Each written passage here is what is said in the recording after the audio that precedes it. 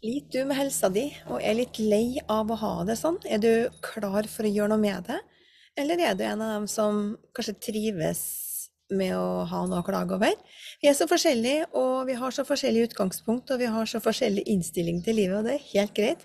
Men har du lyst på en forandring, så kan du bli med på online-kurs med meg. Jeg har sjøl fibromyalgi og hatt det hele mitt voksne liv, og jeg kan love deg at jeg vet hvordan du kan få det bedre. Jeg kan hjelpe deg til å få en bedre hverdag hvis du er innstilt på å gjøre litt jobb sjøl. For det er ikke sånn at jeg kan fikse det for deg, men jeg kan gi deg verktøyene sånn at du kan få en bedre hverdag.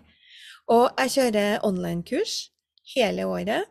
Der kan man komme og gå på når man vil, og kurset varer i tolv måneder med tolv samlinger eh, online. Eh, samlingene er frivillige, den kan du være med på om du vil. Og verktøyet det er ditt til odel og leie når du har blitt med på kurset.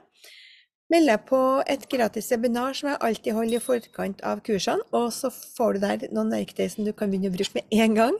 Og da vil du også få en pekepinn om du føler at det her er noe for deg.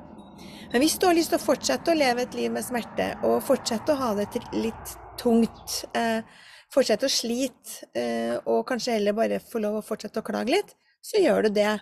Da trenger du ikke å bli med. Eh, men det her er altså for deg som er interessert i å gjøre noe sjøl, som føler at du er lei av å ha det sånn at du faktisk vil ha et annerledes liv, et liv med mer mestring, en hverdag der du kan gjøre litt mer uten å bli helt utslitt etterpå. Da, jeg, da er jeg sikker på at kurset jeg har laga, passer perfekt for deg. Det passa perfekt for meg. Jeg syntes synd på meg sjøl i veldig mange år og hadde det trasig og trist. Men da jeg hadde bestemt meg for at nå er nok, da begynte jeg å jobbe med meg sjøl. Og jeg har utvikla et uh, kurs som er helt fantastisk, og som kan hjelpe deg til å få en så mye bedre hverdag enn du har nå.